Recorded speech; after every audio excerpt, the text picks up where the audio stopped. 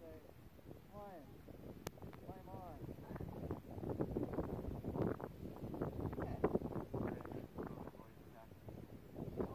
I sat right in the cactus. Man, I can still feel spines in my butt.